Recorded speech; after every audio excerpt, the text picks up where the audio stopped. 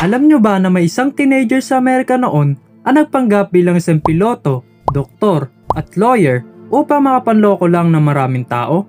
Kilalanin natin si Frank Abagnale Jr., isa sa pinakamagaling na teenager na nang-scam ng mga bangko at gumawa ng daang-daan tseke upang makapagnakaw ng milyong dolyares. Nagumpisa ang lahat nung siya ay 16 years old pa lamang. Dahil nabuhay si Frank sa isang broken family, hindi ito masyadong natutukan ng kanyang mga magulang at natuto itong pumasok sa isang white-collar transaction tulad ng scam, fraud, at forgery. Sa una ay pagsha-shoplifting lang ang kanyang ginagawa upang siya ay kumita ng pera hanggang sa umabot siya sa pamemeke ng mga papeles at paggawa ng mga tseke.